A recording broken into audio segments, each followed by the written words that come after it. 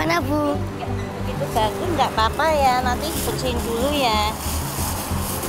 Iya. Ini masih bagus kok.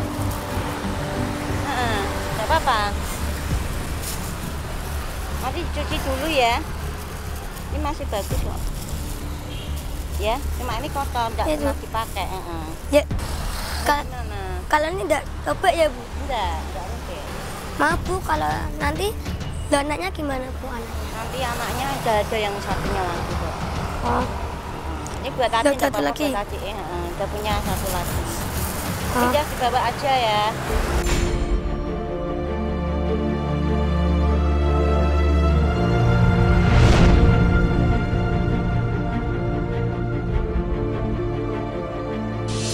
Sebuah kebahagiaan tersendiri bagi orang tua dan ibu khususnya dapat melihat senyum dan semangat buah hatinya.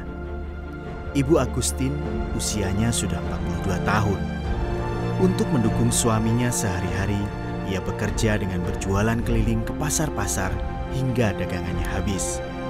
Sebagai seorang ibu, ia mengharapkan yang terbaik untuk anak-anaknya dan juga untuk keluarganya. Terima kasih Bu. Bu, doni buat Ibu. Hah? Doni buat Ibu Bu. Oh iya. Ya ya, ibu tak jualan dulu ya. Iya. Terima kasih ya Bu ya. Iya iya. Bu, terima kasih ya Bu ya. Iya. Besok saya bisa sekali lagi Bu. Iya iya. Ya dulu ya, Dek.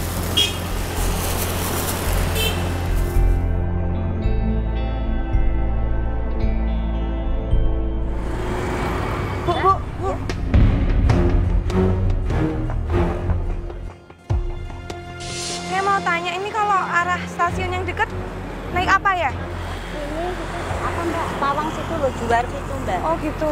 Naiknya apa nih saya kayaknya? Ini namanya daya Bisa? Bisa, oh iya. Sering lewat daya nih? Nih.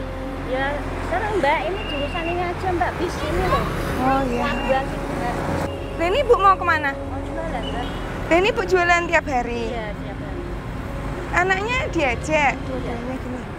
Heeh. Hendaknya enggak di rumah aja anaknya. Enggak, ikut mesti Mbak. Lah kenapa kau ikut kok? Enggak, enggak kalau di rumah enggak mau Mbak. Oh maunya ikut ya. Iya.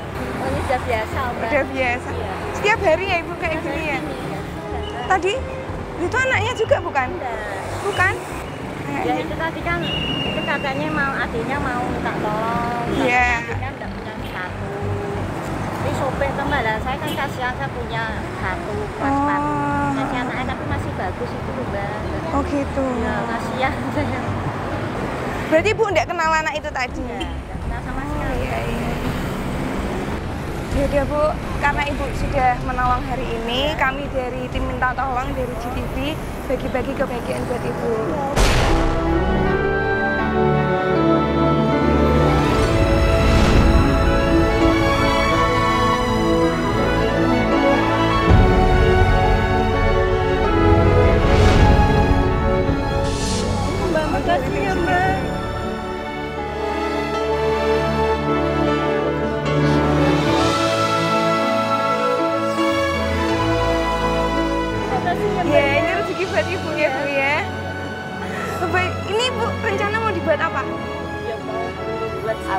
Alhamdulillah sekali saya dapat bantuan dari tim minta tolong.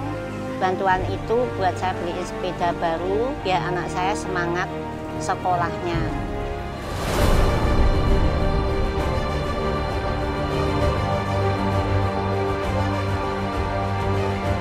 Ini toko sepedanya jauh Bu dari sini? Deket sini ya?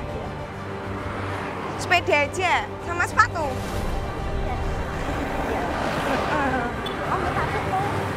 Buku buat sekolah ya? Iya. Heeh, buat sekolah. Sini sini. Kalau jual kok siang kok enggak sore aja, Bu? Ya, macam ini kan untuk anak ibu sekolah. Oh, berarti memang ikut ya?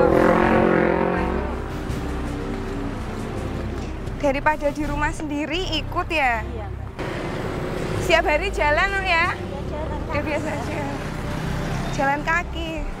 Dibawa gitu dagangan ibu? Ya, setiap hari bawa Oh. jalannya. Itu dagangan ibu sendiri yang produksi Iya. atau storan? Storan ibu-ibu lain gitu ya? Oh, yo. Sini yang mana? Sepeda yang mana nih, Bu? Yang ini, Pak, buat adik ini.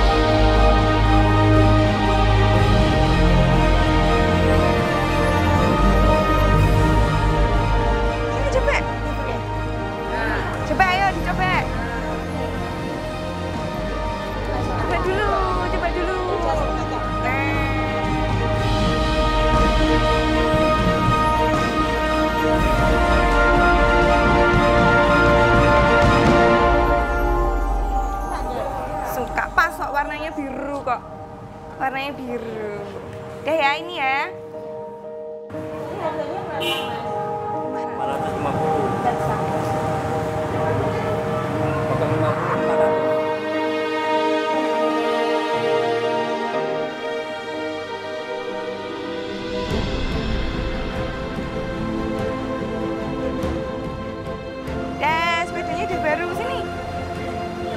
Ya deh yuk, langsung dipakai.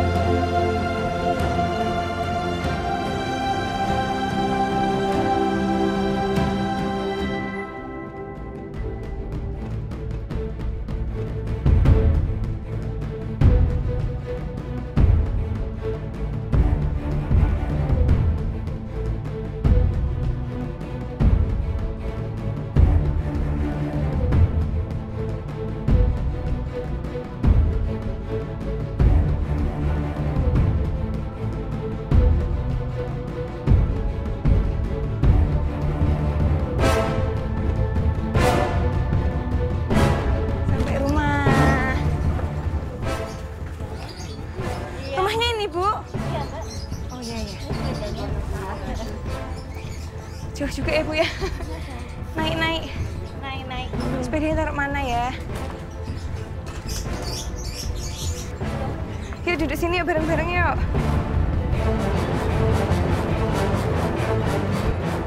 Sudah lama ya tinggal di sini ya? Sudah lama. Ibu di sini sama siapa aja? Ya sama suami, anak-anak. Ada berapa anak ibu? Empat. Anaknya ada empat. Di rumah sini semua? Iya. Jadi satu ya bu ya? Iya. Yang paling gede umur berapa? Umur hampir 20 tahun, Mbak. Hampir 20. Yang paling kecil ini? Ini 6 tahun. Umur 6 tahun. Nah, ibu ini kesehariannya cari uangnya berdagang ya? Iya. Berdagang cemilan gitu ya?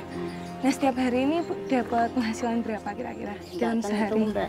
Kadang 30, kadang 25.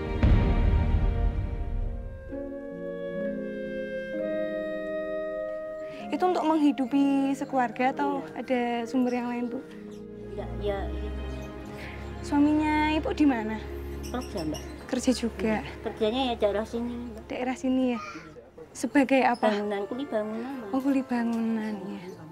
Kalau boleh tahu, Bu, penghasilannya Bapak berapa setiap harinya? Tiap harinya itu ya sekitar 60-70, Mbak. Iya. Cukup ya untuk menghidupi keluarga ini? Ya, Gimana, Bu? Alhamdulillah, Mbak. Cukup-cukupin ya? Cukupin. Ibu tidak ada rencana buat warung atau gimana gitu, Bu? Ya rencana nanti mau bikin apa? Rencana buat warung, Mbak. Tapi kan belum ada uangnya gitu. Ya, ini bersyukur ya Ibu ya, punya rezeki, dapat Iya. rezeki, jadi bisa nuruti pengen anaknya. Ini sebetulnya sudah punya sepeda atau gimana? Ya udah, tapi sudah sudah bisa dipakai, Mbak. Oh, iya. sudah rusak gitu loh. Sudah rusak. Ya ini bersyukur ada yang Iya, baru baru. buat besok sekolah. Untuk sekolah ya atau Iya, buat untuk sekolah. Setiap harinya naik sepeda ya anaknya sekolah. Iya. Ini kan Ibu mata pencahariannya menjual dagangan itu ya. Setiap hari ya, Bu. Iya. Sudah berapa lama, Bu? Udah sekitar enam tahunan, Mbak. Enam Iya. tahun, Bu. Iya. Aduh, enam tahun. Itu anaknya dibawa dari Iya, masih kecil sampai udah besar. Nah, Bu, ini saya ada pertanyaan yang saya pengen tahu ya, Bu ya. Eh, Ibu pernah nggak mengalami kejadian gitu yang mungkin merugikan Ibu atau benar-benar membuat Ibu itu merasa jatuh gitu loh, Bu? Ada nggak Bu ceritanya suka dukanya untuk berjualan apalagi sudah enam tahun ini, Bu? Iya, Mbak. Dulu pernah, Mbak. Itu kan ceritanya kan saya njak apa? Juga kan suami saya kerja, tapi kan hasilnya nggak cukup. Penghasilan nggak cukup. Heeh. Terus saya kok kok kepingin jualan sendiri biar dapat dapat tambahan dikit-dikit gitu biar nggak kekurangan gitu. Jadi awal Ibu bekerja karena kebutuhannya kekurangan gitu ya Bu ya. Nah Bu saya terima kasih sekali sudah mau Ibu ajak ke rumahnya. Sudah mau menjadi penolong hari ini, saya salut sekali Bu dengan perjuangan Ibu dan keluarga. Saya bangga sekali Bu ketemu Ibu hari ini, jadi pelajaran juga buat saya dan semoga bermanfaat juga untuk masyarakat ya Bu ya. Sini ada tambahan buat Ibu, semoga benar-benar bermanfaat untuk keluarga Ibu ya Bu ya.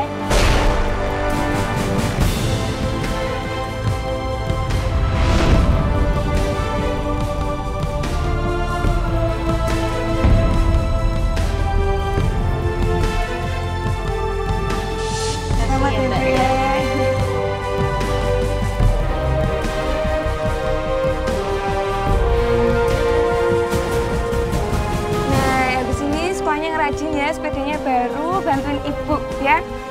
Oke? Nih, eh, setengah ngerajin ya.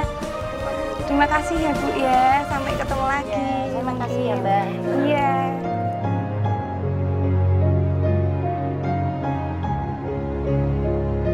Makasih ya Bu ya. Ya. Saya pamit ya.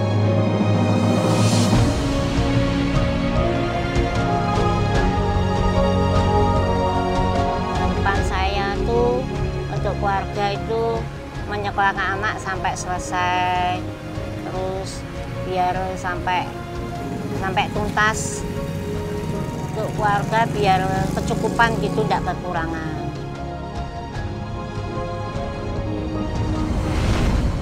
Hati seorang ibu yang tulus tidak akan pernah berbohong. Melihat seorang anak kecil minta tolong, hatinya turut tersentuh. Teringat bahwa di rumah ada sepatu anaknya yang belum dipakai. Ibu Agustin tergerak untuk mengganti sepatu rusak itu agar bisa digunakan kembali. Dan ia pun bahagia, buah ketulusan hatinya bisa memberikan hadiah yang diinginkan oleh buah hatinya. Hari ini kita belajar dari kehidupan Ibu Agustin bahwa hidupnya seperti lilin yang menerangi kegelapan. Hidupnya memancarkan kebaikan yang nampak dari bantuannya untuk orang yang datang padanya minta tolong. Bye.